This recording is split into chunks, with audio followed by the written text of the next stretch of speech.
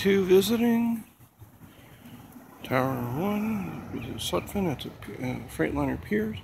Engine 5 behind yet. The squad truck. American flag flying proudly today. It's day before Memorial Day. Sunday, the Lord's Day.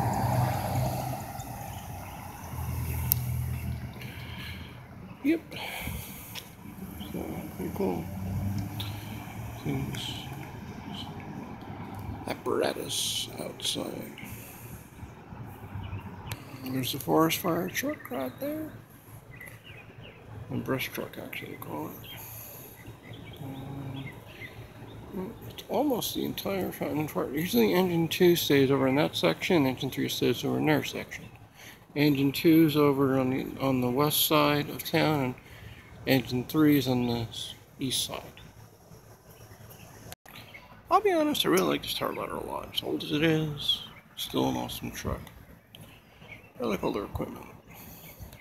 So Ford F550 is a 2012, as well as the squad truck. I think that's 350 now. Oh, what you know about that? Look what's on the other side of the garage here. The other Bobbsey twin, engine 3. This, uh, again, they're both 2016 Pure, uh, Pierce Freightliners. Cummins six-cylinder diesels, and um, great looking trucks, both of them. Here at Fountain Fire Department.